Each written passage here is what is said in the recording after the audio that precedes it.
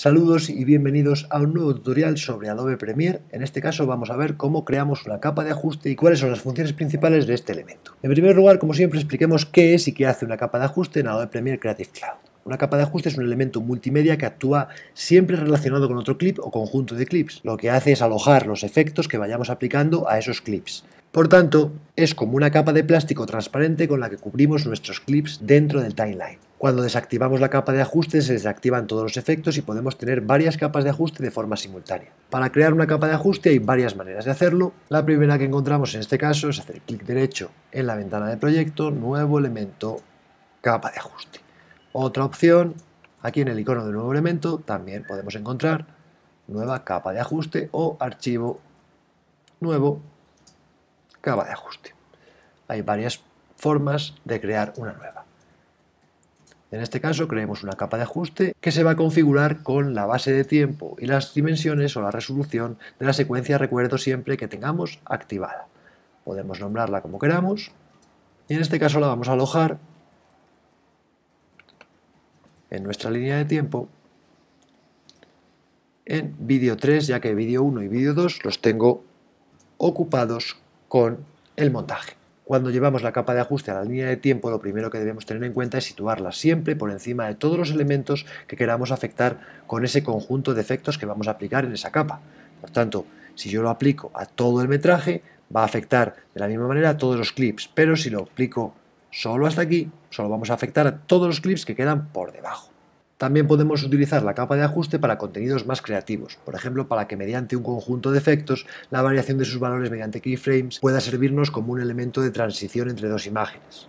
Pero una de las aplicaciones más habituales y más profesionales de la capa de ajuste como contenedor de efectos es aplicar un look determinado, o sea, hacer el talonaje de una secuencia o conjunto de planos, en este caso ocupando toda la duración del metraje. El uso de la capa de ajuste para este efecto, diferenciado de otras operaciones que podemos hacer con Lumetri, como la corrección de color, es muy recomendable ya que estructura y simplifica la organización de los elementos dentro de la línea de tiempo. En este caso debemos cambiar el efecto a color y aplicaríamos un loop sobre la capa de ajuste. Pero antes voy a mostrarles cómo también podemos aplicar cualquier efecto que encontremos en nuestro panel de efectos.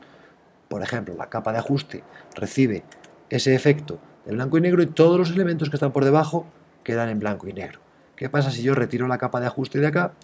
Que según estoy reproduciendo mi vídeo, cuando se acaba la capa de ajuste, el vídeo se mostrará con su color habitual o sin el efecto. Obviamente la suma de efectos, al final, cuando trabajamos en la gestión del color, siempre nos lleva a Lumetri. Y en este caso también podemos aplicar ese look de nuestra imagen, por ejemplo este, sobre la capa de ajuste, variar esa intensidad, por ejemplo, etcétera, etcétera, y vemos cómo ha quedado aplicado perfectamente a todo el conjunto de vídeos que hacen parte de mi montaje. Si desactivo de nuevo la capa de ajuste, voy a ver cómo el efecto se va. Para mostrarles cómo podemos aplicar este elemento multimedia que ofrece Premiere como un elemento también de transición, voy a generar una nueva capa de ajuste que voy a denominar elemento de transición. Voy a aplicarla entre una intersección de dos clips y lo que vamos a hacer es una variación de la opacidad de este elemento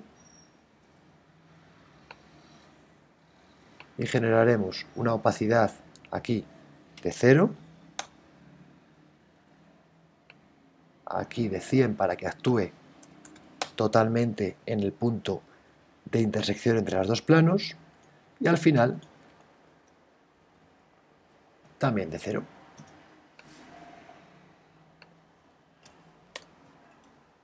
A partir de aquí, ahora de momento no vemos nada porque no hemos metido nada en la capa de ajuste. Entonces varía la opacidad de la transparencia, no tiene ningún efecto aplicado. Pero voy a aplicarle dos efectos, por ejemplo un efecto de desenfoque gaussiano, que está aquí.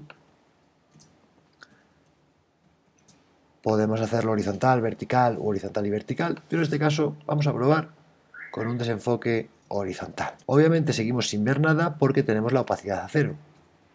Vemos como ahí sí que se producirá una deformación más grande. Y luego, ya que tenemos abiertos los ámbitos de Lumetri, pues vamos a hacer una modificación, por ejemplo, llevando los valores de imagen hacia unos niveles extremos de magenta. Una vez que tenemos hecho eso, podemos ver cómo aplicamos el efecto. Recuerdo, hemos aplicado sobre la capa de ajuste dos efectos básicos, un desenfoque y un color de Lumetri, y hemos variado la opacidad de la capa de ajuste para que empiece en cero, entre como fade in, llegue hasta el 100 en el punto de intersección de los dos planos y se vaya en fade out. Probemos el resultado. Y ahí tendríamos la manera en la que hemos hecho la transición. En este caso, creo que el desenfoque gaussiano que hemos aplicado va a requerir de un mayor desenfoque. Entonces vamos a ponerlo en horizontal y vertical y vamos a ponerlo, por ejemplo, al 200. Y probemos de nuevo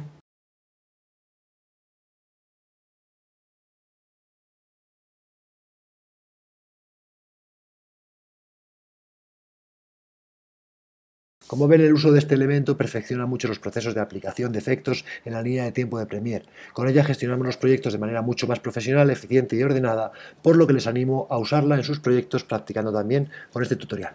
Un cordial saludo y hasta la próxima.